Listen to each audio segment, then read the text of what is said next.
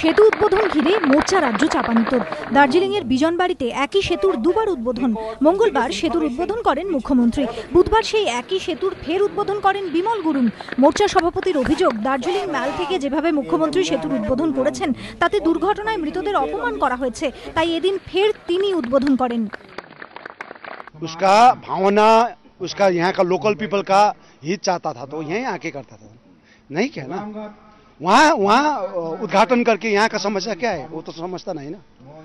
इसीलिए यहाँ का जितना भी तैतीस आदमी यहाँ मर गया था, उसका आत्मा तो है यहाँ पर।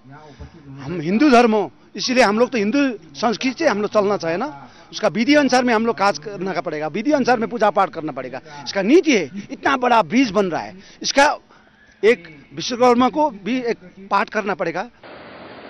দু হাজার এগারো অক্টোবরে দার্জিলিংয়ের বিজনবাড়িতে রঙ্গিত নদীতে ভেঙে পড়ে অস্থায়ী সেতু। সন্ধ্যায় স্থানীয় মাঠে গোর্খা জনমুক্তি মোর্চার সভা চলছিল।